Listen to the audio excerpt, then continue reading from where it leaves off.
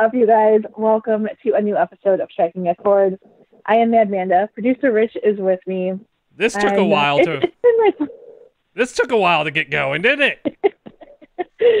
yeah, it, it's been like what, like at least a few weeks, maybe a month. Uh, well, I mean, it's not. It is my fault. Well, no, it's someone else's fault. But oh my god, Life just got in the way that's that's a, again. yeah. No, a second bout with this shit. 2020 can go f itself. Can we? Are we dropping f bombs yet? Is that okay? Is that acceptable, or do I have to wait till the tw- fuck 2020? yeah, I'm I'm just done with this year. Maybe, maybe with the vaccine out, we'll be getting concerts again within the next six months. Man, I hope so because I've got like a week's worth of vacation time. I'm rolling over at my my my full time job, Yeah. and you know, I'm just I told my my uh my team today. I was like, man, I'm like, you guys, when we get concerts come back next year, I was like, you guys are barely gonna see me at work because I, it'll be like Friday through Tuesday, like Friday through Monday. You guys won't see me again till till the following Tuesday. Like I'm just gonna be taking days off left and right for work for concerts. That's what I told the wife. I'm like, I think Hoping to is, take some vacations. I think it's time that when concerts come back, we just go see things that we would never go see. Like jazz music, Yeah. let's effing go. like let's go see bands that I never thought I would say I'd ever see again. Or see like well, there might be a couple bands I wouldn't see again, but there's it, it's I'm excited. I I think we're getting to the point where we might be getting stuff back soon. And I hope so. I mean, there's festivals and I mean not just local festivals, but there's also out of obviously like the out of state festivals. Um, I mean Download Fest in London happens every year, or it's supposed to.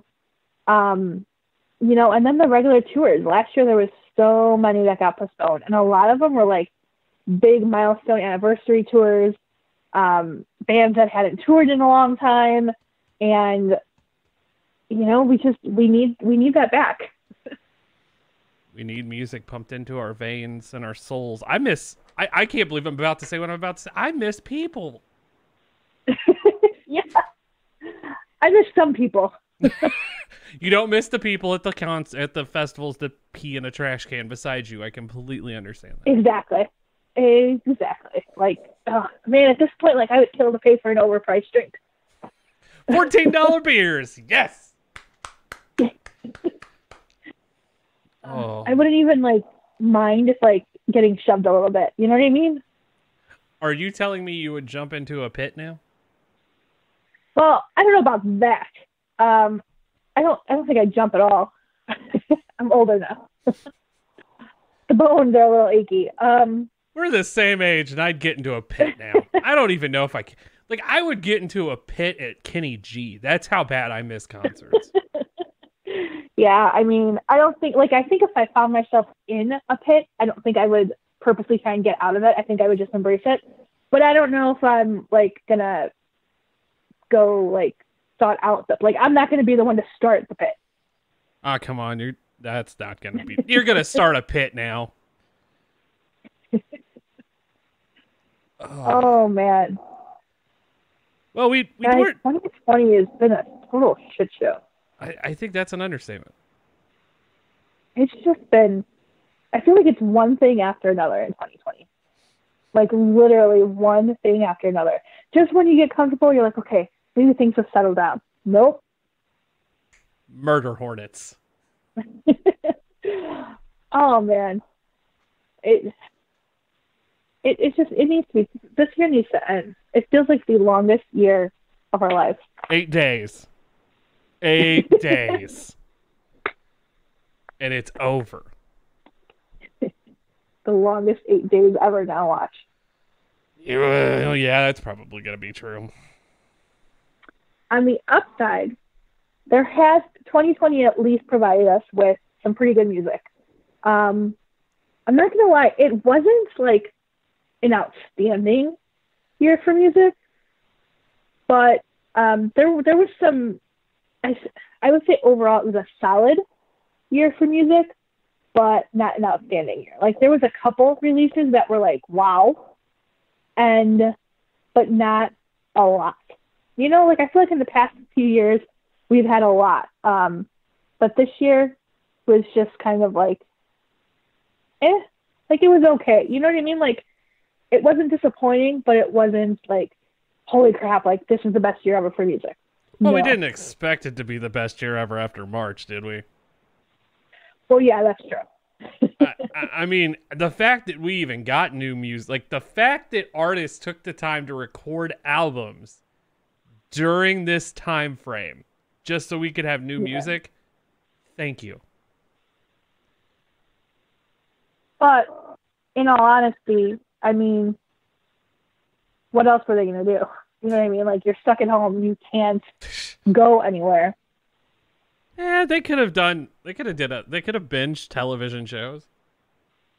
This is true, and I think some of them did, no doubt. Um, but luckily, like there was enough that uh, that gave us some new music.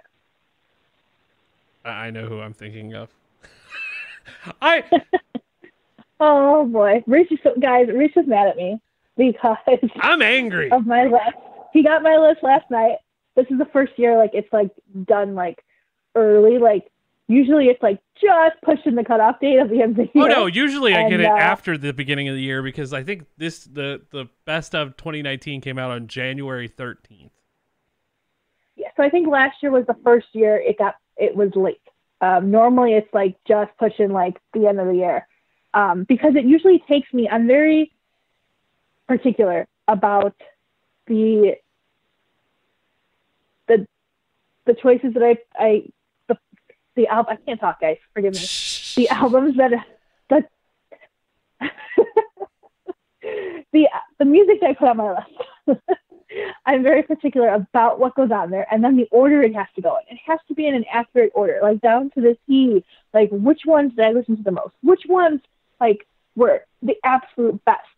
And I usually spend like a couple weeks, like just like getting everything that was released, and then cutting it down to like what was the best, what I listened to the most, and then putting it in order. Right?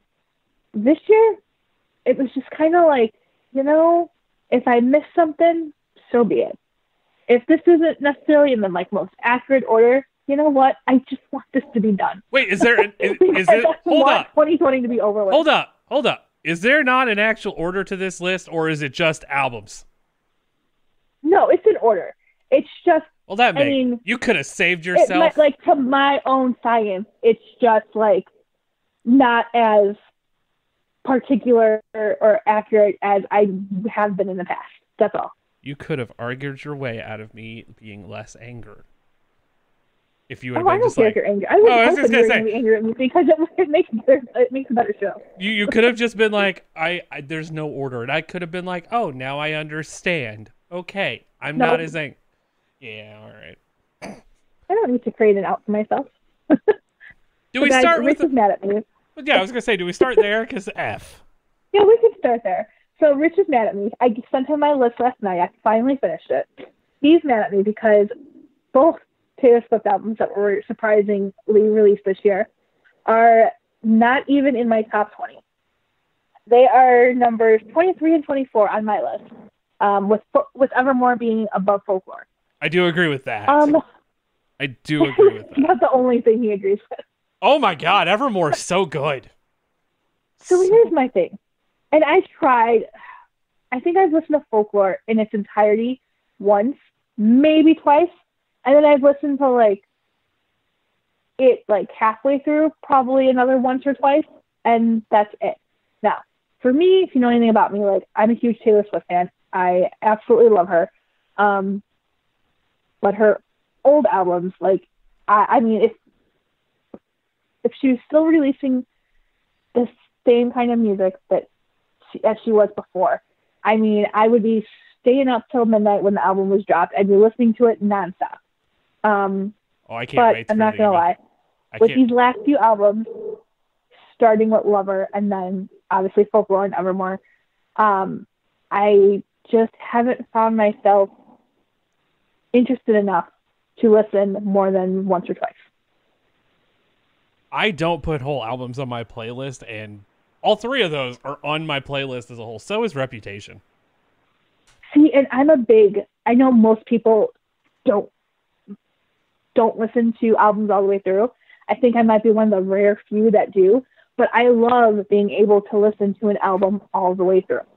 Um, it's just it's great. You can put it on and not have to skip a single track. That's what I love, and I just haven't been able to do that with the with the Taylor Swift album in a long time, probably since Reputation. I see. I complete. I think the. I, okay, so one, we would have never got these two albums had it not been for COVID. Yeah. I mean, I, I if they would have come out, but they probably would have came out years later. Well, like at the very least, like a year apart.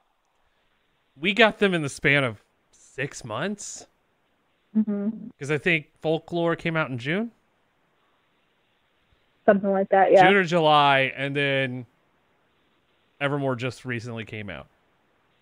hmm I feel that history is going to look very kindly on these two albums.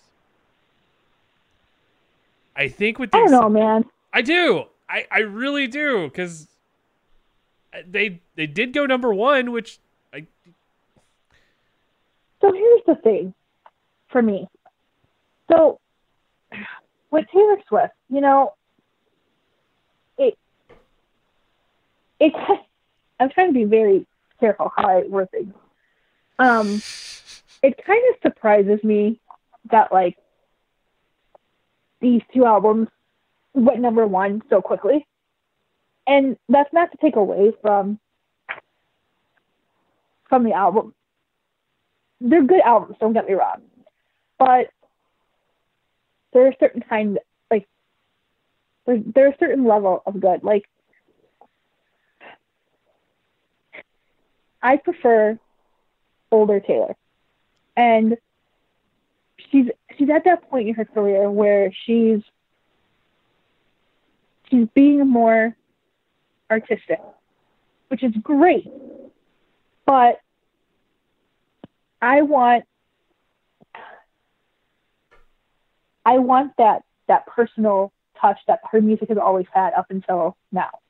Um, See, did- and may, I mean, I don't know if it's just because folklore and Evermore are based on fictional characters that she made up, so maybe that's why there's a disconnect for me. Like the lyrics are so good, but they're not like Taylor's like fearless good. They're not speak now good. You know what I mean? Like, and granted, like yes, they're more mature now, but they don't feel as personal. I kind of disagree with that. Like there's nothing on either of these two albums I can I feel like you can sing along to. But they're not that type of music. They're not that you're gonna put on and That's the problem. That's what I want though. I want the music you can sing along to. But this is her going down a different route for to release albums during a time where fans aren't getting new music, and I can't really say that outside of a few others, because the other ones you introduced me to, because I know that was made during this time frame too. Same principle. Like I'm never gonna put those on just dri- going down the road, but I will listen to those albums all the way through. I don't know if I want to give mm-hmm. that away, but like they're not the same. Like they're not the same. Do we just tell who that is too now, or what? I don't know, 'cause you kind of lost me now. no, the Smith and Myers albums. Okay, so Oh, okay. same principle.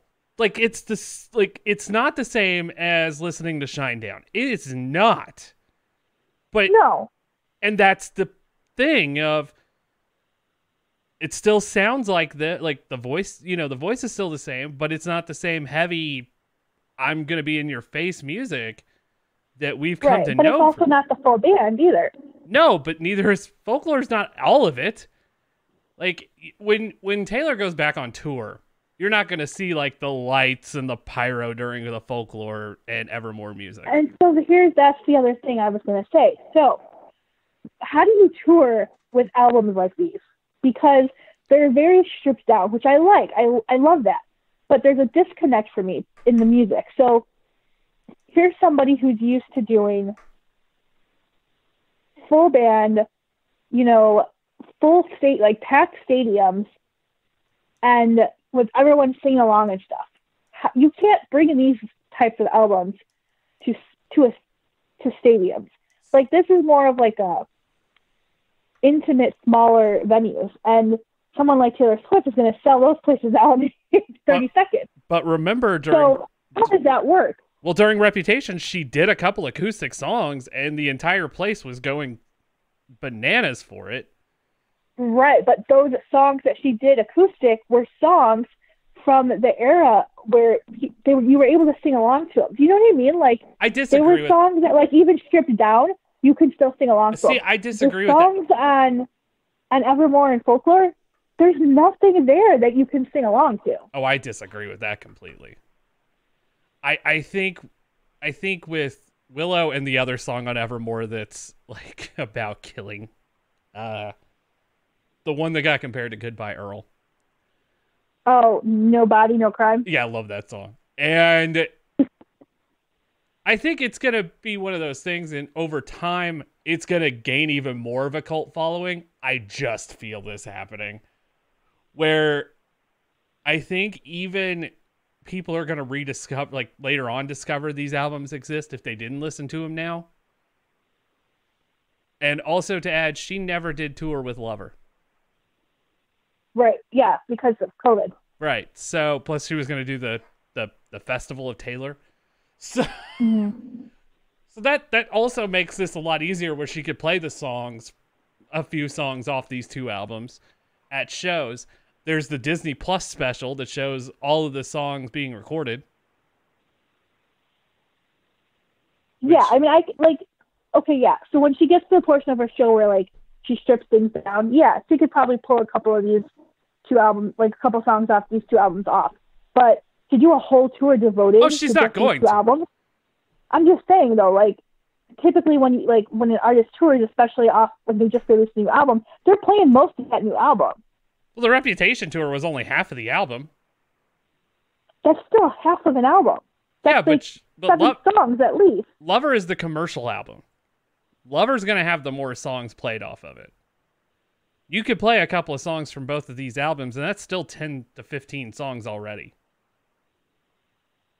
Plus, you know she's going to do her older stuff. So that's that's at least 25. Yeah, but there's not going to be enough of the older stuff because she's going to have to play a couple of these. I don't, I don't know. I'm just maybe I'm just getting old. I I don't know what it is. I just I prefer. I just feel like the fearless, speak now, and the red era of Taylor. Like that's what I want. Like I want that Right. pop rock sound. But those eras are gone for now. Like that's that's the problem. but it's not a problem. I, artists need to evolve. If you stay at Absolutely, I'm the first one to say that. But I'm just I, I'm not a fa- I'm really not. I just don't prefer these two albums. I don't think they're like I'm not gonna lie. Like I was in the car all like most of the day on Monday, and I think Willow came on the station, and and I like it as a song, but when it comes on the radio, it's not something I'm gonna leave on. Like I'm gonna skip to a station that's got a song that's not even necessarily a little bit more upbeat, but just something I feel connected to, something I can sing along to. And I don't feel connected to this new era of Taylor songs. But I mean, this era is not like these two albums are not that way. I I think Lover is that way, but that's a whole nother conversation. No, I These- feel like even Lover, like you can sing along a little bit more too. Um, now the problem I have with. Lover is it was a little bit more like the sounds were. I, I'm not into that. Um, those like electronic and synthesizers. We- and. I'm not. I'm not into that. we really are the yin um, and yang of music because we are complete opposites.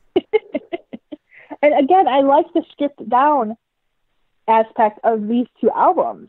It's just something about the songs I can't connect to. Like the lyrics don't fit the music, maybe, or maybe it's just like I said, like they feel like concept albums, which is I don't like concept albums either because you can't, you you don't have a connection to those characters that they're singing about because they just made them up. Uh,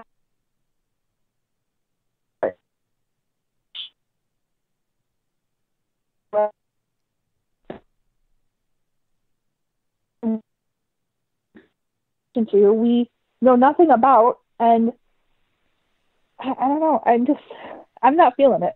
That's the reason why they were 23 and 24 on my list. I mean, I I want to go. I just think they're ahead of another album that's on this list without naming them. Because that's a whole music news story, and that's a whole episode of its own self. We're not going to get into that. But I mean, it. I See, just the, the problem is, is like I like that. Like I know which one you're, what album you're referring to, and I'm not without talking about the artist. I I just genuinely like the songs on it. Like there was the album itself. Like I was able to listen to from front to back, but there was at least like three songs that I have I added to uh my regular playlist that I go back and listen to and can sing along to. Like I felt connected to them. You know what I mean? here's my There problem. really wasn't anything on the Taylor albums that I, I felt like that. Here's my problem with that album. You could pluck that album out of now, put it back in the year that that band was relevant, and it still sounds like the crap that was when they were relevant. It, it sounds like To each their 2004, own. huh? I said to each their own. It does. They didn't change their sound. It's still the same band. I mean, they they did a little bit, but maybe that's why I like it because I'm itching for that for that nostalgia. Because that's what's lacking in today's music. And here we go again. that shirt will be in the store. last debate. That shirt will be in the store. You're going to be hearing more about that that statement. All right. Do we want to get to your Um, list? yeah. So since you only came up with five, I guess I have to um, skim through my EPs and uh, Yeah, because I mean, that like, weren't included on an EP or album. I'll be Um, I'll be completely honest with you. I don't know what's a single anymore and what's not. So here's how I do my list for anyone who's new. So I do it in three categories. I have albums, and I have EPs, and I have songs not included on an EP or album. So here's what that means. So for EPs,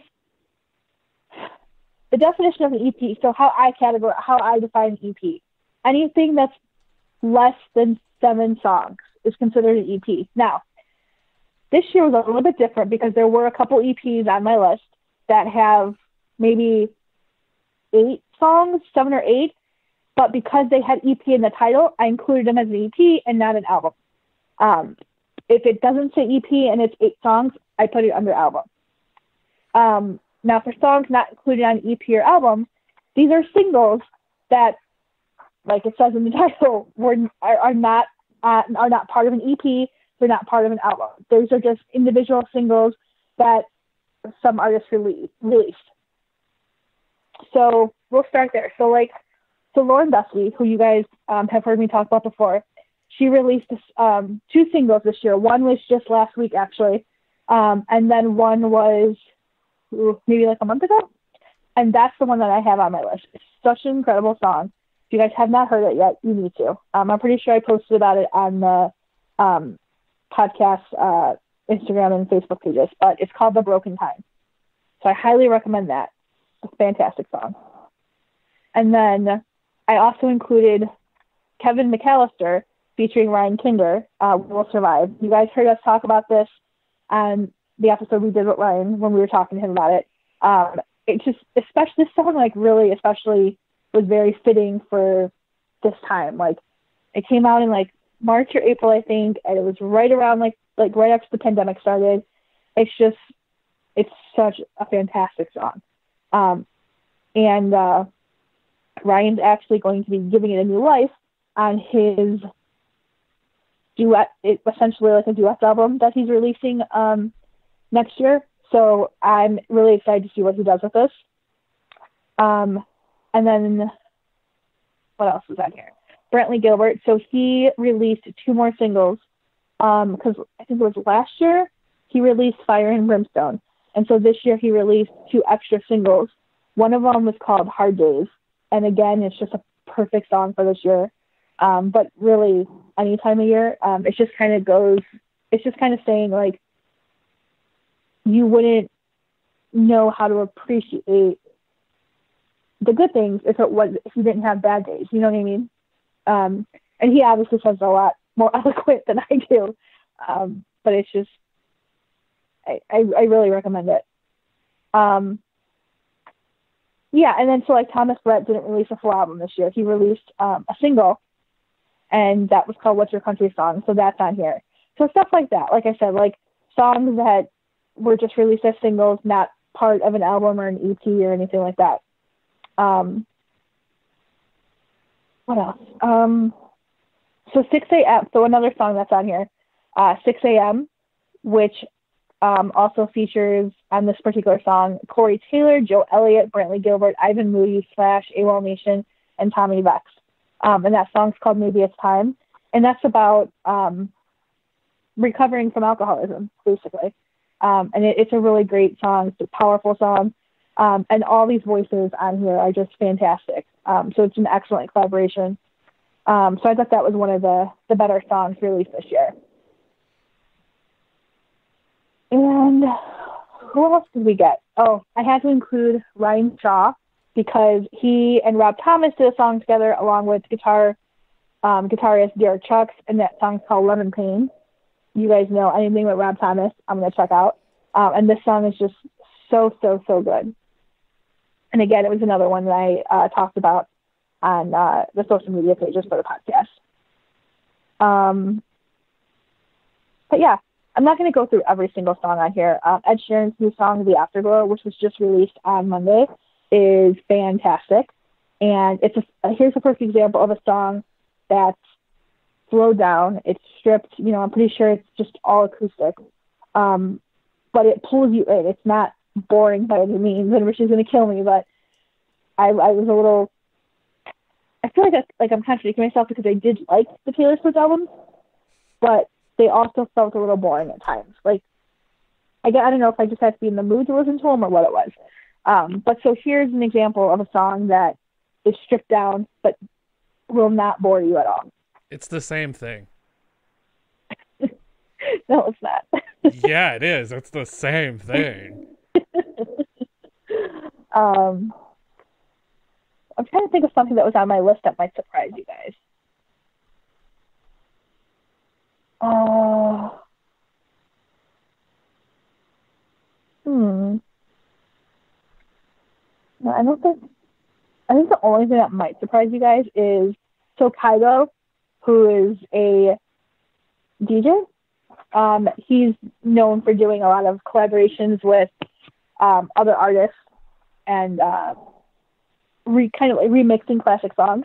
And so one that he did this year was with Tina Turner's for her uh, "What's Love Got to Do with It." One of the best songs you'll ever hear is "What's Love Got to Do with It." Um, and this remixed version is great because it doesn't take anything away from the original. Um, it just modernizes it like in the perfect balance. Um, so I guess that might surprise people because you guys think I only listen to country. Um, but I thought that was really good, so I had to include that on my list because it wasn't included on his full length album. This was a separate single. And yeah, and then so for EPs, I've got so Sam Grow is uh, I don't want to say he's up and coming. This is like his second EP, but he is more underground and just starting to make his way to the mainstream. And so he released a new EP called Me and Mine, and it is fantastic. It's like the most country thing I've heard all year. Um, obviously, Jordan Davis love him, so I loved his new EP. And yeah, everything else I would say you guys have heard us talk about on here. Um, Jordan Rager, Matt Stell, Riley Green, Ryan Hurd, Travis Denning. Um, you guys have all heard me talk about them on the podcast so many times before. Um, were there any songs, Rich, that you can think of that you were I don't know, obsessed with or whatever that were released this year? That wasn't by Taylor Swift? No, I'm trying to think. Like, it's been a weird year for me listening to me. I'd have to go to my Apple playlist because I don't remember what I've put on it from this year. I discovered a punk band okay. that does covers, which I've I've fallen in love with them, but that's a whole other conversation. Uh, they, they, they've done a. You know what? Oh. You know who I really got into this year? Sorry, Who? go ahead. No, I, I actually thought of something. I've really fallen in love with AJR this year. Okay. I got introduced I think to I them. know. Yeah, I mean, they do the Bang song that's out now. It's probably in like 37 commercials and TikToks, but they're but they also have a song about The Office, which is my favorite show ever, and that's actually really fun to like. They have some good music. I know one of their songs, and that one's "Burn the House Down." Um, I Yeah. like that a lot. Other than that, I haven't really listened to anything else by them. Uh, I really don't have much on my playlist from this year. Just letting everyone know. Not saying I hate on the year, but yeah. Like I said, it was kind of like it just like a an okay kind of year. It wasn't anything super outstanding. Um, but you know who really surprised me? Who uh, I, I I was a little slightly disappointed in myself for jumping on this uh, this bandwagon. But um, I really enjoyed Harry Styles this year Why are you surprised about Um, jumping on that bandwagon? because that's not my typical kind of music. Like I g- generally don't like don't like those newer boy bands um, or anyone that comes from them. Um, especially, I, I mean, I generally don't like the the newer pop music. Um, especially like the the bubblegum pop. But Harry's got his own little his own style, and it it doesn't really fit anything else that's uh, that's in the pop mainstream right now. So maybe that's why I was a little more willing to to let myself like his music. Um, and so his album, the whole album was not great. There was like the last half of it, I think, was like a little kind of like kind of like fell apart for me. Um, but the beginning, like the first half, was actually really good. And so I absolutely like love "Adore You." That's like a friend told me about that song, and I'm surprised that like he enjoyed that song. And so then when I so now when I after that every time I heard it, I had to listen to it because I could only think of like him jamming out to that song, and it was the funniest thing for me. Um, but then the more I listen to the song, the more I really enjoyed it. And so now it's like it's on my playlist. Like I I will not turn it off if I hear it on the radio. And then I heard his second single, Water, "Watermelon Sugar," and I It's a good song. it, it doesn't make a whole lot of sense, but, it's I really enjoyed that song as well. Yeah, you know, he's just like I I uh, watched him on SNL a few weeks ago and was just pleasantly happy, which is very Yeah, rare for yeah. music today. Yeah. So yeah, so I was kind of surprised at myself for uh for enjoying Harry Styles, but I'm a fan. At least those two songs. And Falling. That was another good one. Oh, did not have that on my what I was going to hear today, so that's fun. See? I, I knew I would surprise you somehow. oh, I'm gonna I'm gonna mess with some people's minds when we talk about albums because I only have five because that's all I could come up with. So I had I didn't think I was gonna have this many. Um so I generally I generally just try to do twenty. But sometimes the- sometimes it gets hard because then you'll think of like one or two more. And I'm not one of those people who can like do like your top 22 albums. No, no. It's got to be like top 10, top 15, top 20, 25, or 30. Like you can't stop at like a weird number. Like top 21 album. No, no. Who does that? Me, So I had to do 30. me. I mean, I could have cut it a little bit. I probably could have cut it to 25, but you know, I really enjoyed. I really enjoyed a little bit more than that. So, um, so one of the albums on here, I think you guys are going to be surprised that I enjoyed this year was the blackbear album. Um, and so I really I enjoyed him on Monsters with All Time Low, and then I went back and listened to some of his own stuff, and I mean, it's something I can listen to every single day, but I enjoyed it more so than I thought I was going to. So for that, I had to include the album on my list. So blackbear, Everything Means Nothing is number 26 on my list of top 30 albums of 2020. And I, I'm gonna have to check this out because I have no idea what this is.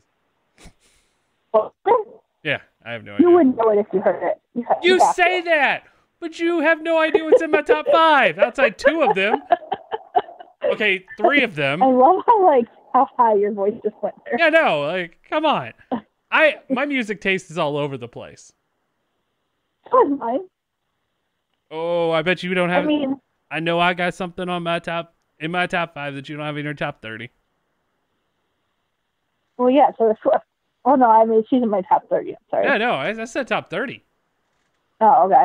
Um, else? Actually, two albums in my top five that are not in your top thirty. Um, let's see. The country albums. So I didn't have, and this is a little probably a little unusual, but there was no country albums in my top five. Top ten, not top five. Um, and that's not to say there weren't any good country albums because there were. There, I mean, there was a lot. I mean, maybe not a lot, but just nothing that blew me away that had me listening to it over and over. Um, so the Brett Eldredge album was really good, but again, you have to be in a certain mood to be able to listen to that all the way through. Um, but I still enjoyed that more than I think I enjoyed the Taylor Swift. um, so Brett Eldredge Sunday Drive um, is number 16 for me. And then Hardy's album was really good, um, but that landed at number 18 on my list. You know whose album didn't make Um, your, either one of our list? Looking at you, Green Day. Oh. Oh yeah, no, that Green Day album sucked. It was awful. Just throwing that out there. And I want to go to that tour, and that's what makes me more angry. I do want to see Green Day, Weezer, and Fall Out Boy because I- I, mean that's just I want to see the opening like, act. Like, back lineup. I don't even care. I want to see the opening act. Like Oh wow. that's where I, yeah, no, I am paying money to go not to even see the three big bands on this, but to see their opener. Well, you're a special kind of person. Well, that should explain it. Cuz Um, what was I gonna say? where where do you want to go in this list? Where do you want to like where's the let's go there. So let's see. Okay, so 15. So I guess I can kind of start at 15. Um, so Gone West, who was um, Colbie Caillat's um, band, um, they were. I mean, they're no longer together. They broke. They got together this year, or end of last year. Um, they released an EP and then they broke up this year. So they did not have a very long track record. Damn. Um, but their album, their full length album that they released this year, Canyons, was really great. Um, so that landed at my number 15. Uh, Kelsea Ballerini technically released two albums this year. One of them was the actual album, and then the other was the same songs, but reimagined versions. So they were more stripped down.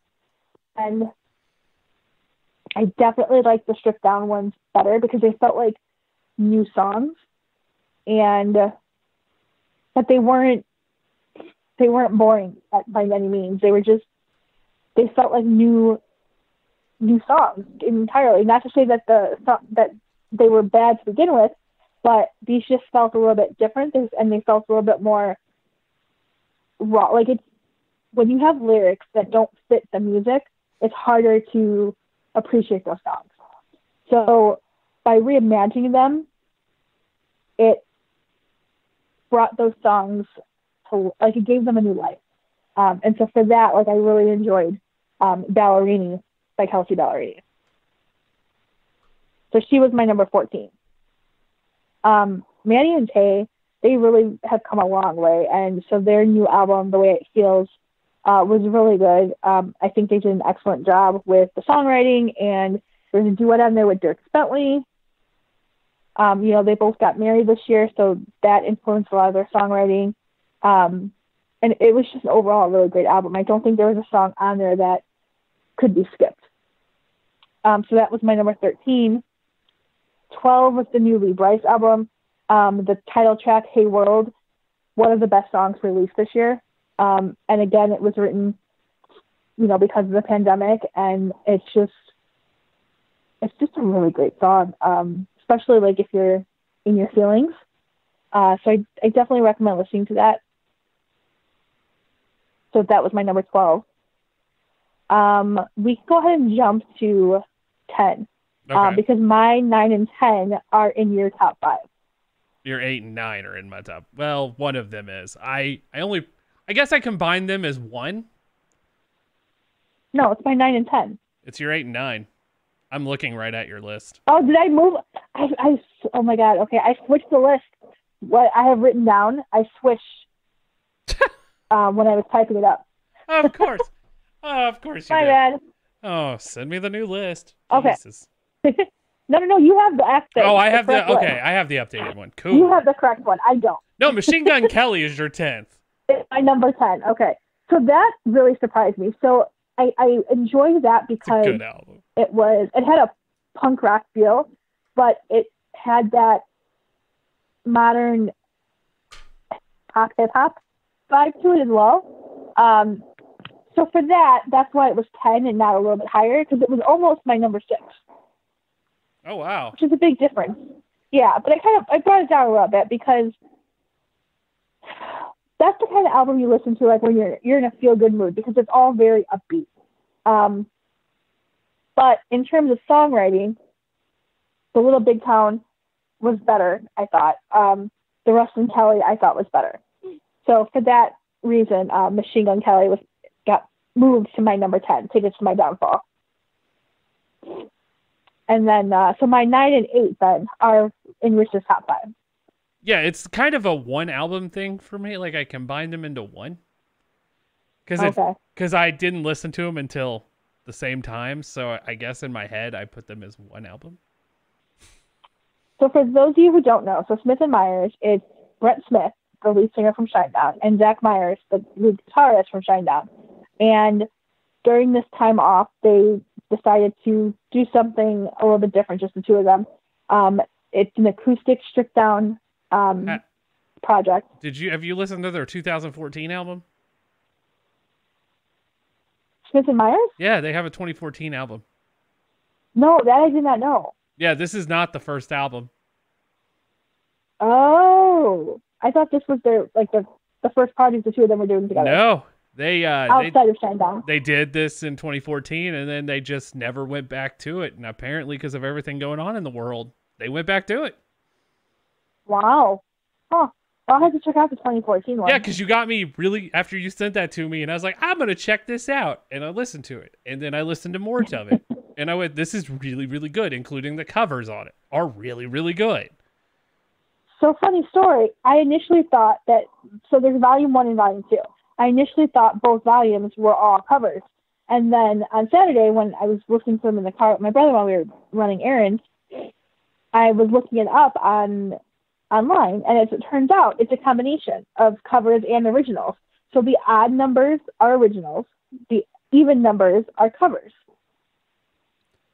want to know my favorite So it cover jumps back and forth. want to know what my favorite cover was in the two Oh, I'm sure it was the Billie Eilish. no it was one more time Really? i thought they did daft punk justice Interesting. yeah no not what you expected me to say huh i'm full I did like their version of the the Post Malone song better now. yeah I no that was really cool. like every one of the covers is really good. Every one of the originals is really good. It I don't know what it is. 2020 is just giving me stripped down albums that I'm listening to. Hey. Um, I really enjoyed their cover of "Rockin' in the Free World," originally by Neil Young. Um, "Rebel Yell" by Billy Idol. That was really good. That was really good too. Um, their version of "Unchained Melody," originally by the Righteous Brothers, was fantastic. I mean, it gave me chills listening to it. Like, there's just something about it. Like, it was so damn good. I've always liked his voice, but I know it's a different style of voice compared to every band. It it just he has his own distinct sound, which not many artists Yeah. from that time frame do. Like you can tell if it's a Shinedown song with his voice. Hmm and that's something that I really am appreciative of. Yeah, and I think I, you know, his he really shows his vocal. I mean, look, like his vocal talent shines on Shinedown stuff, But this project, it really, really stands out. Like you really get to like to see like the full extent. I feel like of of his vocal talent. Yeah, so definitely buy this one or listen to it on Apple Music or Spotify or wherever you listen to music because it's worth it. It, it definitely is. Um, in both volumes, you, you, can't just have one. You need both. Yeah, that's why I say combine them, make them one album. It's great. It's worth it. So see, like if this was back in like 2005 or so, you could, if you were trying to tell us if you wanted to burn the albums for a friend, you wouldn't just burn two separate albums. You would put them both on one but then your computer would have had 'Cause they would many fit. viruses, because they would fit. And you would have got those albums on LimeWire. LimeWire was crap, man. Don't tell me. No, it was. I got a lot of viruses on my computer because of LimeWire and FrostWire, but I still used. it. I still used them. And now I'm gonna get Mhm. arrested. Cool. So that was my eight and nine. So then my number. So what do you have for my number seven? Ruston Kelly. Okay, so Ruston Kelly, that really surprised me. So he had last year he released that um that album. I don't know if it was an EP or an album, but it was cover songs, and he did an incredible version of Taylor Swift's "All Too Well" and the Blink One Eighty Two's "Damn It," and they were stripped down versions, and they were fantastic. Like you need to check them out if you haven't already. Um, so this year he released his album "Shape and Destroy," and again, I think there's only maybe one or two songs on there I wasn't crazy about, and it was like middle to towards or middle or towards the end. Um, but the first half of that album is just oh, like his lyrics and his voice are just fantastic. There's just something about them, like especially like listen to them at night when you're winding down before you go to bed, or you know when you're in a, a different kind of mood. I, I oh his he he was just really he that album really surprised me how much I like how much I enjoyed it this year. Um, you said that was my number seven. Yes. Okay, so then my number six would have been Little Big Town. Yes. Little Big Town, Nightfall. Very much a dark album, um, especially for them, but so good. It's just like this, this tone about it um, throughout the entire album. Every song just has this this darkness to it. Like there's really nothing upbeat that I can think of on this album.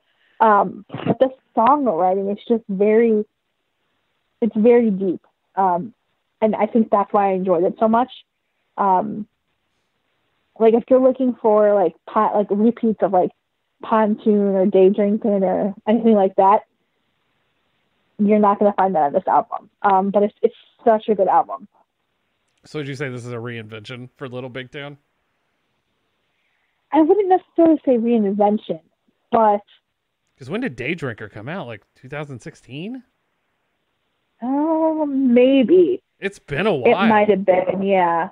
Um, but I mean, they had Girl Crush, and Girl Crush. Oh, that's was, a yeah. I forgot about that. That was a couple of years ago. I- It, well, Girl Crush was on the same album as Day Drinking. oh, so that was two. That had to be 2016 then.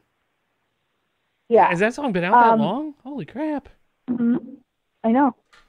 Um, so think of think of Girl Crush, but just go a little bit darker. That's basically all of Nightfall. I have to check this one out because I do like them. I've liked them since Little White Church. Yeah, and um, again, you're not going to find anything like little, like nothing upbeat Nah, in the Little man. White Church. Um, but I mean, Karen Fairchild's vocals are just like I feel like they reach a new level on this album. Um, it's just everything's very haunting. Um, Questions is my favorite song on the album. Um, I'm gonna check so that's out. number six. Okay, so I, I assume your list is back to normal now. yes, I think so. Okay. So you can go ahead and start with your number five. Oh, my number five is uh, Fiona Apple's "Fetch the Bolt Cutters." really? I love that album. Yeah. I thought, Huh. Yeah, no, I one I like Fiona Apple's sound, and then releasing a new album, and I was I just enjoyed the whole thing from start to finish, which is really weird for me. And I don't know, that's the one album that when the Grammy nominations were made, I was okay with being on everything. Huh. Yeah. I if you haven't checked it I- out, you should. I've never been a Fiona Apple fan. I, I never. She was never an artist whose voice really caught my attention. Um, I never really dug into her music. I love um oh criminal. I I and ever since then I've been a fan of hers. And I just was excited when this came out. I listened to it. It's on my playlist. Yeah, no, I didn't reveal everything because if I did, then my playlist would have been like this whole list would have been just dead. But I really super enjoyed this album. Interesting. Did not see that coming. Did you? Um, I don't know why. I don't think I knew you were a Fiona Apple fan. Oh no, I love like here's the thing with me and listening to thing like listening to anything newish that comes out like even if I'm a fan of like you are with the Taylor Swift albums like I still may not enjoy it but I'm I'm going to try to listen to everything I can with an open mind to a fault because there are just Mhm. times that things will catch you and you're like I should not have enjoyed that and that's probably what my number 2 is I shouldn't have enjoyed that, but I fudging love it. So that's kind of how I fell in love with Fiona Apple. I'm like, I'm not going to enjoy this. And then I watched the music video. I'm like, I love this song. so I, there's a lot of Fiona Apple on my playlist. Okay. Yeah. Um, so my number five was Ten Years Violent Allies. Um, so they were a band. I haven't listened to them since their first album, um, the one that really bro- you know broke them out into the mainstream. Um, and so I wasn't expecting much from this new album. Like I gave it a listen because I thought, you know, let me try it. You know, sometimes a band they kind of lose their way for a few years and then they come back and it's you know a great thing. And that's exactly what happened here. Um, it's a really great album from beginning to end. Um, I didn't have to skip any songs on it. I, I, I just think it was a really great hard rock album. Uh, I have not listened to this yet, but it is on my list of things to listen to. I'm not a fan of theirs in general, though. So that kind of Uh, knocked well, then you might not like it. I still will try. I I don't know. I I I've seen him live. Does that count? Yeah, I, I mean, I counted. Wait, it counted as what though? yeah, yeah, no, it is. Yeah. All right. so you're number four. Uh, it's the Smith and Myers album. Oh, we which we already talked about. Okay, Yeah, yeah, which we've already discussed. So hey, okay. well then, um, so my number four is the new Seether album, and so Seether is one of those bands who they're they're one of my favorite hard rock bands. Um, for a while they were super consistent with putting out like just awesome, awesome albums. Um, and then a couple years ago, I want to say like they kind of started falling, oh, like falling a little short. And I, I think there was maybe like the last, the last album I didn't really listen to, um, because I tried to and I just couldn't get into it. Um, but this new album, I wasn't again, I, like with the ten years, I wasn't expecting much from it. Um, but it really surprised me, um, with how good it is. I feel like it's kind of them going back to their their roots a little bit. if I were Um, to dive so- deeper than 15, or to at least do more than five, this probably would have been on there somewhere. Yeah. I enjoy Seether. So, so you listen to this album? I did. I, but it's because I follow Seether, and they're like, "Hey, you, we have new music." Um, yeah, I can't pronounce the title of the album, but it's it's a great album. Um, it's a lot harder than what um, they probably have been the last couple years. I mean, I, I, I don't know exactly how I would describe that, but it, it definitely reminds me of the early stuff. What is that I'll one? put it that way. What is that one album? Um, I just could not get into of Seether. Which Like, one? um, I'm trying to think because it. I don't think it was. I think it's the one. Crap! I can't think of the name of the album. My mind just went. Yeah, nope. We're just uh, we're just gonna not remember anything. uh, I think. Hold on. I'm, I I think I figured it out. Yeah, was not a fan of holding on to the string, holding on to strings better left to Fray. Okay, yeah, I think that was the same one I wasn't really a fan of either. Like after that one came out, I kind of went, eh, I'm not going to listen to them for a little bit. Yeah. Um, but this album is not like that. This album, like I said, it reminds me of their early stuff. It's harder, um, but it's not like unbear like it's not unbearable. Like you know how some hard music is a little unbearable to listen to because it's like, Yeah. especially if it's too much screaming. That's not the case with this. Like I feel like this is a good balance. That's one genre. Out of all the genres that I have, I have a few screaming songs, but that's a rare. That's rare. I just cannot do that very for long periods. It's a song here and there, and I'm done. Yeah, and see that's why there's certain bands like with hard rock, like I like like yeah, like you want like the hardness of it, but at the same time like you still need like melody. Um and so that's why I like bands like Three Days Grace and Papa Roach and you know, Seether. Um you know, bands that can still rock the fuck out, but still know how to provide, you know, still know know how to give you a good melody. Like it took me a while to get into in this moment. Yeah, I'm still there's there's maybe like one or two songs by them that I can listen to. Um, but She with, for me with them, if there's too much screaming. Oh yeah, absolutely. But there's too much screaming. Uh, my number. do You want me to give my number three? Yeah. I mean, I think you know where this is gonna go. Uh, Uh-oh. no, my number three is one we've kind of talked about, but it's folklore. Oh, Yeah, no, it's number three. I'm surprised it's not higher. Nope. Unless ever because Evermore's probably number one. You are correct. My number two is going to blow some minds, but uh, I one, it's because I now have an autographed copy of Folklore, so that helps. Uh, two, That's awesome. yeah, no, that's. But two, I remember the first time listening to it and was just in such a, I don't know. I went from. This has been a weird year. I think everyone can Mm-hmm. understand that. And when that album came out, it was just nice to escape because that's what that album felt.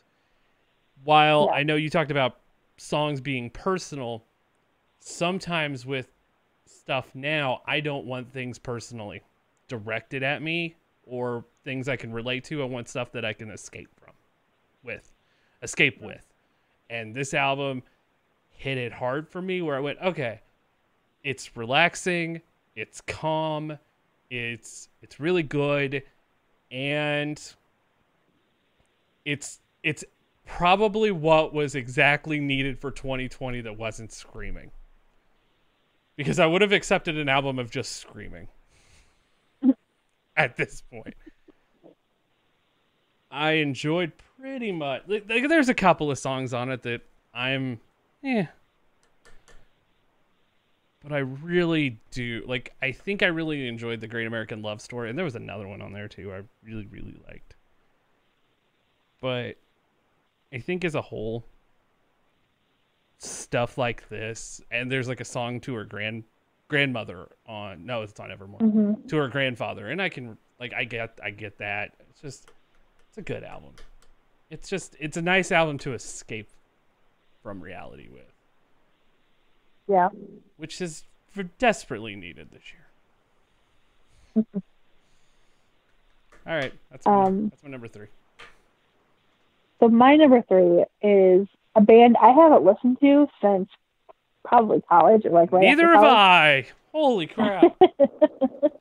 And I was didn't know what to expect on this new album, but then I heard the lead single, which is "Burn It Down," and I was like, "Man, this is like I find." I found myself putting that song on repeat so much because it was so like it was upbeat, it was catchy, melodic, like it had everything, and it was just such a great song. So then, and then the next couple singles were off the album were released. And I was like, man, I'm like, these are really good too. I'm like, I really hope the rest of the album is like this.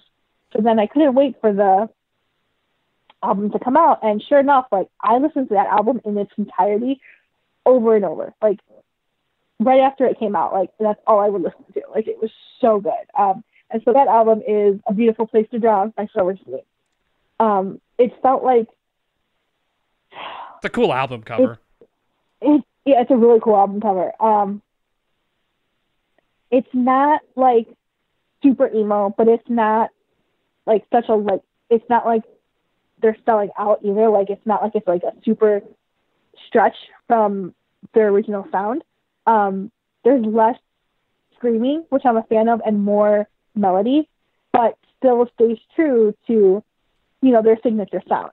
Um, and Shane Told's just he's one of those vocalists who like his voice is the sound of the band. Um, and yeah, I mean, I, I really, really love this album. It, it was just, it's so good. If you guys have not listened to it yet, it came out back in March, I think, early March. Um, you you really have to listen to it. It's it's so good. I have to check that out because one, I forgot they existed as a musical group. You still haven't listened to it yet? No. Oh my goodness! Yeah, no, I. What have I you been doing? uh trying to write. That's pretty much it. Uh, I, I, oh, I'm gonna, I know I'm gonna get backlash from you for this. I know I am. Oh boy. Uh oh. So, about two months ago, Uh huh. I was sitting down and watching SNL because I Mhm. it's still one of the shows I really enjoyed. Not right now, the writing's sh- just shit. So, Yeah. uh, it's not Morgan Wallen, just to let everyone know. I tried listening. Well, his album it doesn't even come out till next month. well, he was on SNL recently Oh. because he went to a party at the University of Alabama and got kicked off the show because he wasn't taking COVID seriously. And then they just had him back on like a couple weeks ago. It's not him. But I'm sitting there and and usually I just fast forward through the musical guest. About 90% of the time it's always these boring dull performances that while not stripped down music is they're trying to do their most artsy stuff possible. Because they're on SNL and they can get away with it.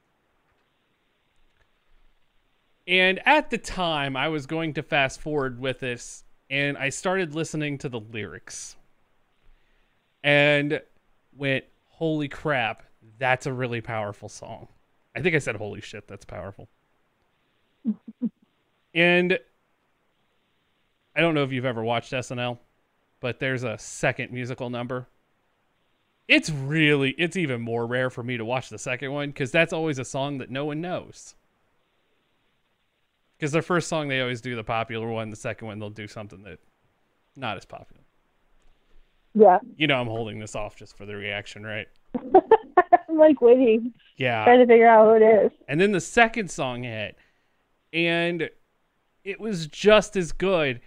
And I went, I'm going to listen to that album as soon as it comes out, which is not something I would normally say at any time else. But my number two album is Good News by Megan Thee Stallion. Really? It is so fucking good. I don't know, man. I saw her. Look, I we talked about this on the last episode. I saw her um on the what was it the was it the Grammys? No, Grammys are in January. Um, the uh, what was the Billboard Awards? What was it that we just watched? What were we talking about? I think it was the Billboard Awards. I have no idea. I believe I it think was. it might have been. I think it might have been the bill. Was it? The, it has to have been the Billboard Awards, right? I think it was. Yeah. Okay. Um, yeah, so I, I, I don't know, I wasn't really impressed with her. Again, maybe just because I'm not into that style of music. I'm not really feeling like the, the new music today. I don't know if that's it. Um, but yeah, I wasn't. I I, it was so good. it is I I'm not a hip hop fan. I will listen to certain albums here and there. I listen to more 80s, 90s hip hop than I do new hip hop. Mhm. Uh and this one caught me completely off guard cuz her performance on SNL was very much it was a very powerful song.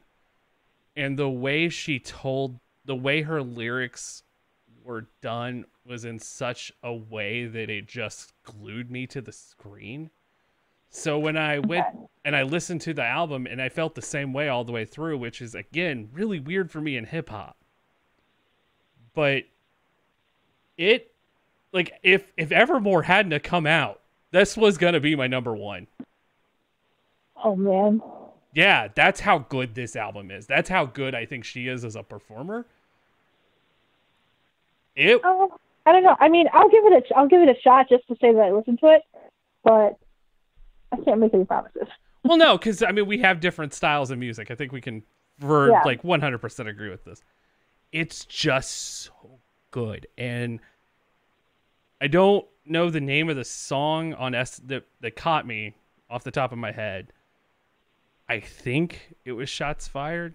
I know she did Shots Fired, and I can't remember the second song, but both songs just hit me just right, where I was ready to listen to the whole thing. So Mhm. if a live performance can make me want to listen to an album, I know I'm probably going to enjoy it. And then I sat down when it came out in November and listened to the whole thing start to finish while working. And it I stopped a couple of times just to actually take in the words. It's a good album. I am really surprised I enjoyed this. But I really enjoyed this. I was not expecting you to say that. Told you. yeah. That's my number two. So, so my number two is All Time Low. Um, so they've always been pretty consistent um, with their sound up until I think it was an album two years ago that they released. It was a little bit different. Um, but this Wake Up Sunshine album is just solid from beginning to end. It's upbeat. It's got its moments where it knows when it needs to be a little bit more um, serious um, slash like toned down a little bit. But overall, it's just a great pop punk album. And especially in this day and age, because I don't feel like we have a lot of great pop punk bands anymore. Um, unless it's a, unless it's a new album by an older band, like you know, in this case. Um, and I, I think I said this earlier when it first came out. Wake Up Sunshine is the best pop punk album we've gotten since Blink 182's California. Oh wow. Yeah. Um, and I mean, I really enjoyed that album. Um, I thought it was really, really good. Um, and I don't think we've we've had a really solid pop punk album since then up until now. Um, and this one is just, I mean, it's the kind of album you can put on in your car when you're driving around. You know, the sun's out and you just you want to blare something. Um, this is the album to do that too. And I think they did a really great job with Monsters um, and bringing in blackbear because it was the perfect collaboration to bring pop punk and hip hop or whatever you want to call it to the mainstream. Um, it's like if like if you if alternative rock stations were still a thing, this would be played on alternative rock. This would be played on pop. I mean, pop radio. Um, it's just that perfect crossover between to to bring the both worlds together. Um, it, it's just a really great song. Um, I mean, for like a, just a fantastic album. Um, I, I really can't recommend this one enough, especially if you guys are fans of early to mid 2000s pop punk. This is the album like we needed. I listened to this. I think it was in my top. If I would have had more than five, it would have ended up there. and and, it's not like it, it's it's mature writing too. You know what I mean? Like they they touch on things that like as adults you struggle with. You know, like they touch on depression and anxiety and just all those things that you feel, you know, as that you struggle with as an adult, and um, but it still brings a little bit of fun to it, like to the other songs as well. You know what I mean? Like they they ba- they balance everything really well. Um, so I, I I really can't recommend this album enough. Um, it was a close tie. I wasn't sure what was going to be number two and what was going to be number one. Um, but at the end of the day, I I think I made the right right decision. But it, it was a tough call. I, I I like this out. I don't know if I I know I've listened to some of number one, but I have not listened to all of it. You're number one. Should make that clear. Oh, I've listened to oh. no, I've listened to Evermore a few times. I now know the words to most of the songs on Evermore. I enjoy Evermore. I stayed up for that while having COVID. I don't think I did. I think I stayed up for folklore. Um, that was just one of those rare nights where like I was up doing stuff for the podcast and trying to catch up on stuff. And so folklore came out and I just stayed up and listened to it. Um, but Evermore I did not. Oh, I I, don't remember I, why. I I was, was just tired. so excited for that when that got because I woke up that morning to the news that there was going to be a new Taylor Swift album on her like a two days before her birthday. I was really surprised when I heard that news. I'm not. I, I, I am and I'm not. It's very much a Taylor move. I don't know if we'll get like I don't expect another album from her anytime soon, but she is re-recording all her old stuff now. Yeah, And one of those which songs is good because she she deserves to own her, her own music. and one of Um, those I songs just don't want to change the sound. I don't think they will. One of those songs is in a commercial right now and it didn't change at all. Which one is that? It's a Ryan Reynolds commercial. I can't remember because we were. I was gonna write a, a story about it, and then that Disney news broke, and I'm like, I can't. I can't cover everything. Because if you don't know, think, I, I feel like I know the commercial, but I can't think of the song. oh, hold on, I'll look this up real quick. Because yeah, no, when Disney releases 407 pieces of news in about the span of three hours, that's not a joke. That sucked. Uh, Taylor Swift and Ryan Reynolds album or Ryan Reynolds ad. Yeah, it's it's one of the re-records. Love Story. And oh, really? Maybe I it- did. Maybe I didn't see that commercial. and it is a re-record and it's still it, it sounded like the original, so that is all that matters. I figure that hmm. she's gonna keep them original. I, I we might get some remixes later, but No, we don't. We don't need remix. remix. I don't know. Everyone's rebooting TV. Everyone's rebooting TV shows. Uh, there's a there's a there's a uh, remix of Willow that's I enjoy more than the original. I saw it. I added it to my library, but I have not listened to it yet. And it's even better when you put it on a fire for a Yule log, which is one of the videos she uploaded. Interesting. I shared that. So Evermore was your number one album. Evermore was my number one. Okay. So my number one, what kind of took me, but kind of a little bit surprised me because, um, again, this was a band whose last couple albums I did did not care for. I haven't really liked anything by them um, since the mid to late '90s, maybe. Um, Yeah, I was gonna say I feel the same way here. and then I wanted to because the early stuff was so good, but then the rest was just just not. and um, when I heard they had a new album coming out, I was like, oh man, I don't, I don't know. And then I I heard the single um, by accident actually um, because I was think I was scrolling through Instagram stories or flipping through them, and it came up as like an ad or something. And I was like, oh, that was really good. And I went back to see who it was because I wasn't paying attention. I was like, oh, that's the new Bush song. It's like, well, let me go and actually listen to it all the way through. So I went and I did, and I was like, this, you know, this is really good. And the second single came out. I was like, oh man, I'm like, this is really good too. It's a little bit different, but you know, it's really good. And then when yeah, so then I was getting really excited for the album. I was really hoping it wasn't going to disappoint, and it it didn't. I mean, I listened to that whole album all the way through multiple times. Um, it's so good because he it's got that early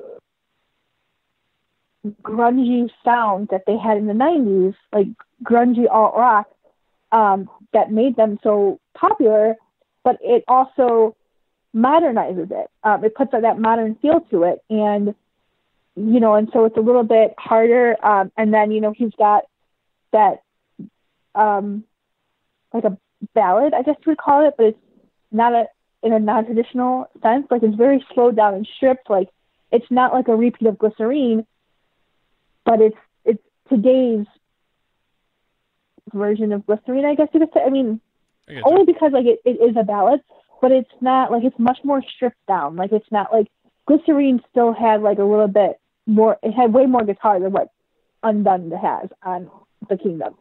Um, but it's just a really good album. Like, I mean, it's it, it really rocks. Like it's just I, I was really not expecting to um, to like this album as much as I did. Um, but it, it, was probably the best rock album we got all year. Um, and we had actually a lot of rock albums this year, um, quite a few actually. And this one, I mean, they really just talk about a comeback album. Um, this one really, really took the cake. I'm gonna listen to it. I'm still mad at him for the whole thing with Gwen Stefani, but that's a whole nother thing. Well, yeah. I mean, see, I can try and separate. I can't too. The, the music from the the person. I can't too. I just want to make that. There is one time I can't, but this time I can't. I just wanted to make that joke. It just yeah. Mean, I mean, I I, I don't like him for what he did to Gwen either. I was but, gonna say, but that um, means as that, a musician, he's really good. That means after you divorce Gwen Stefani, you'll be signed to Relevant again after four years. Blake Shelton notes. um, so I can't believe you haven't listened to this album. It's more or less because I didn't know it existed outside this show. I, I told you though. I know. I've listened to some of it. I haven't listened to the whole thing. It's I like Glycerine to the point where I'm like, I think that's the only Bush song that's ever been on a playlist. See, I think my Glycerine's not even my favorite Bush song. Like I love Little Things, um, Come Down, um, Everything Zen, uh, it's it's Machine either, Head. It's either that or I've just forgotten about Bush music to the point where I have just completely erased it from my memory. Also possible. go back, revisit. Also like, possible. Go back and listen to those early, those early singles, like the the, you know, the hits, and then listen to the new album. I think I don't like I said I, I agree with you. This year has not been the worst, but it's definitely not been the best. Right, exactly. Um, like there was nothing like super stand out, like that was like that made you stop and go, Oh my god, like this is life changing. Um, no, it, it wasn't anything like that. You wanna know something weird? It, it, it had its moments. It had its moments. Like I said, like there are some bright spots you know, like for me, it was The Kingdom and Wake Up Sunshine and the Silverstein album, um, you know, and a couple others. But overall, I mean, there's nothing that's made me go, holy crap, like I gotta sit down because this is just, this is incredible. I think this is going to be one of those years that the albums are going to grow in popularity in in like 10 years from now. Hmm. You know how certain movies will go to the theater and they bomb? but yeah. 10 years they'll become fan favorites. Yeah. I think a lot of music from this this year is going to fall into oh, these are now cult classic albums. Which is not the I, worst thing because you're always going to have fans listening to those. I could definitely see like the Bush and All Time Low and Silverstein and even like the Fever um, becoming classic albums like down the line I it's gonna be a weird. I don't know if we can judge how this year. Like you know, last year we talked about how some of the albums were. 2019 might be one of the best years we've had in a long time, and then mm. going from that to, oh boy. yeah, I mean, 2019. I just think about like the albums. Like I had, we had the Rob Thomas album, which was just fan, like fantastic, like outstanding. Um, you had the the Lewis Capaldi album, um, which was I mean, it's like the male Adele. Like there's just there's there's just nothing wrong with him. Um, I think last year was also the was it last year or the year before? Um, I think it was last year, right? It was the OAR album. Um, See, I can't I get mean, into them. I have tried so many times. oh, I love them so much. I I've tried and key- tried. the key with OAR, so they have phases in their music. Um, they have their, their jam band stuff, which was very early on, which is a little bit more like reggae with a little bit of pop, in, with a little bit of pop rock in there. Um, and then their their later stuff gets a little bit more pop rock, you know, like Shattered and um, trying to think of another good example. Um,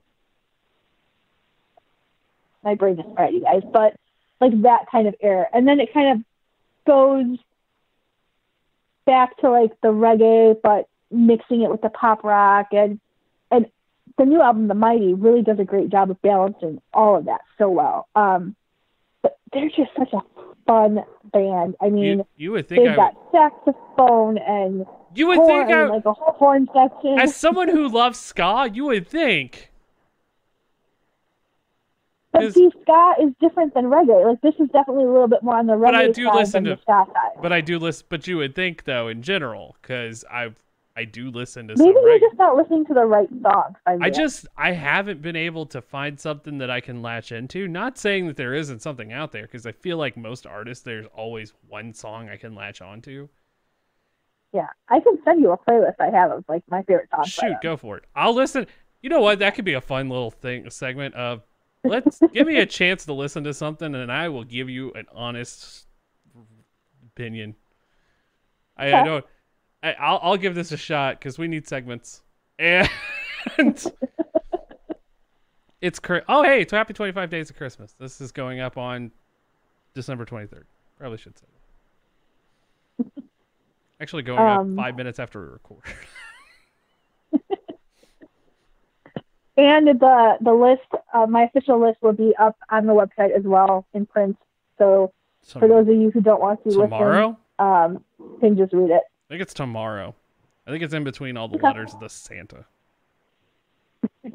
Because I need filler Um, content that is not Santa letters. and it's a good change I'm pace. working. I'm working on something for you. Yeah, no, you told me what it was, and I'm excited for it because after the last show, and yes, I got the emails. After the last show, and a lot of those were specifically targeted at me that I was mean. That's funny. Y'all can suck it. Uh, like that.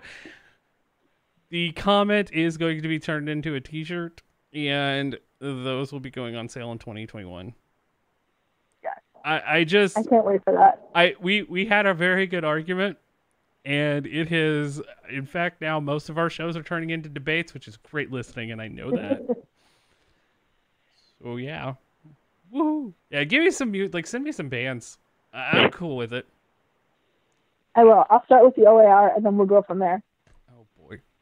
Um, I want to tell you though, guys, I am so excited for next year's music, and I'll tell you why.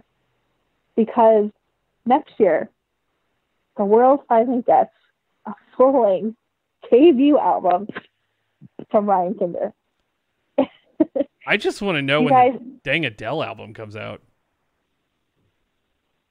she's like not even the same person. Like I, I don't know how I would feel about a new Adele album because she's like not even the same person.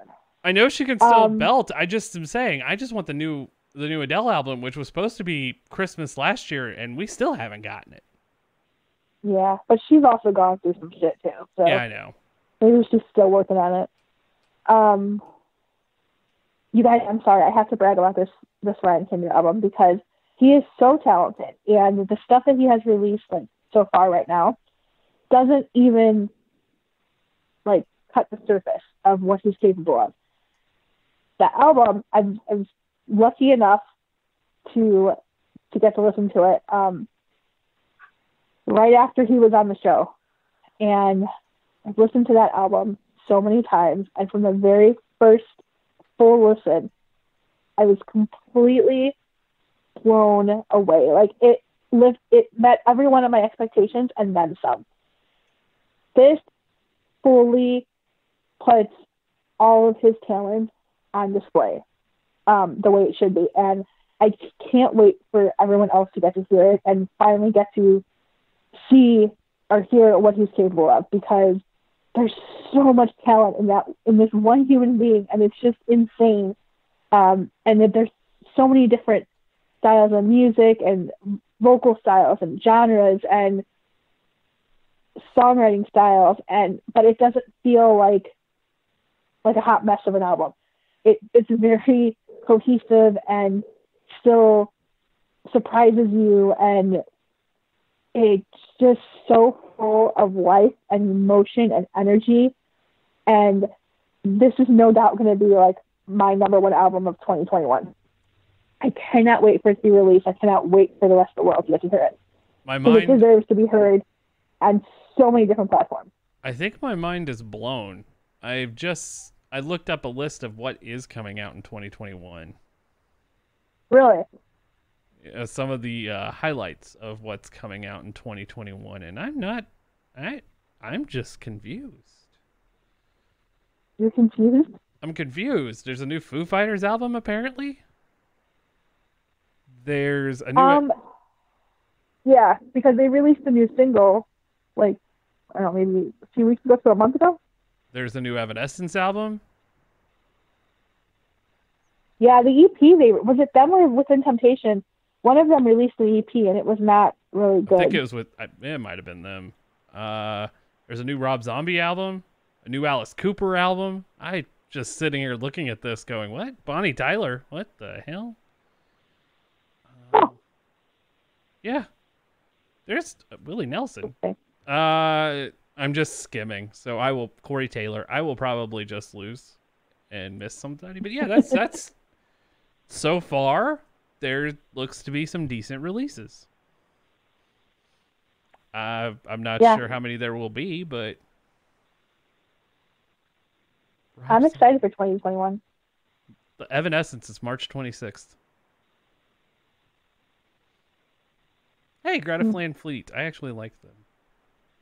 I don't, and uh, maybe it's just because I, I, I didn't like Zeppelin, and I feel like they're this generation Oh, I get. Zeppelin. I, yeah, I don't think they're that, but I, I, I enjoy them for what they are. I think that pretty much, like, are they going to be the first thing I go to listen to? No, but if it's on, all right. Yeah, the Pretty Reckless has a new album too. Good grief!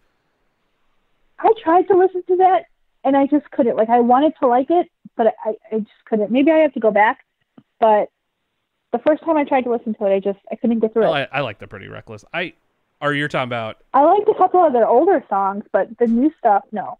and then Florida Georgia Line has a new album. That thing can burn. Uh, I'm just gonna go into that Hmm. horribly. Uh, outside that, I don't really see anything else that catches my eye. Cool. That's what's out. That Nelly's supposed to release a country album. yeah, I'm out. On that note, There's a new Ratt album supposedly next year. wow, that guy's still alive. Yeah, that's what I said. You know what's funny? Whenever, do you guys ever see that commercial for the? I think it's Allstate Insurance. Oh, God, And, uh. It's this couple sitting in like the house that they just bought, or whatever, and it's like the house is great, you know. Well, except for the rat problem, and it's the band the Ratt playing in the basement, maybe, or the I think it's the basement. Um, and then you just hear them singing like round and round. And every time I That's hear that commercial, like, it just makes me laugh. Like it's funny. And my mom hates that commercial because when that album first came out, back when it was like, I think like on vinyl, I'm assuming maybe. No, maybe I don't know. Um, but back when that album first came out, my dad played the shit out of that album, and my mom hated it so much. So she thought that you know, like when my dad was done, like finally, like she wouldn't have to hear that again. Well, then my brother, you know, when he got into his um, like adolescence, early teen years, he went back and started listening to like he went through this big phase. I shouldn't say phase, but he still listens to a lot of it. Um, of listening to the the same 80s and hair metal bands that my dad listened to back in the day. And so my mom had to hear that stuff she hated all over again. That's and so then funny. that commercial just reminds her of it. It's hilarious. That's funny. Uh, also, to add to the humor, uh, well, I guess not humor, but it makes me kind of excited. A new garbage album. Huh. Yeah, bands I never thought I'd hear from again. I feel like that we're gonna see more of that. Natalie Imbruglia is on this list. Really? Yeah, I. The Scorpions are on this. I give up. That's where we stop. That I did hear that they were releasing a new album. I'm done. All right. Merry Christmas. All right. I, I I think that's a good showstopper on the Scorpions. Oh my god. so, you guys have heard our top five uh, picks for 2020's music releases. Um, for more details, at least from mine, you guys will get to read the full list um, on the website tomorrow. I'm assuming you said That right? that's the plan. Yeah, tomorrow. Okay. Um, yeah, and then I think it will be, and I don't it'll be next week. I'm not going to make any promises. Um, but if not next week, it'll be after the first year. I was gonna say, it'll definitely be the new- again. It'll definitely be the new year. I think I think next week is my one week that I'm kind of taking off Okay. because So we're going to try and bring you guys some exciting stuff uh, in the new year. I'm going to try and work on some interviews, and we've got a bunch of um, different topics we're going to talk to you guys about. And we still have our Scream episode that we have to do. Um, that will definitely be next month. yes, And uh, yeah, like I said, we're gonna we're gonna bring more of the pop culture in, but um, I, I still want to keep it very music focused. I'm not gonna lie. Um, but yeah, we will see how how things go come uh, come January, um, in terms of how you know things are going in the world and things start opening up, and you know we start hearing news about concerts and conventions and all that fun stuff. Um, we will continue to keep you guys updated and provide you with the, best content we can give you. I agree with Um, yeah. So with that said, um, it is this is it is the night before Christmas Eve that we are recording this. So I hope everyone has a wonderful holiday. Um, don't go out if you do not have to.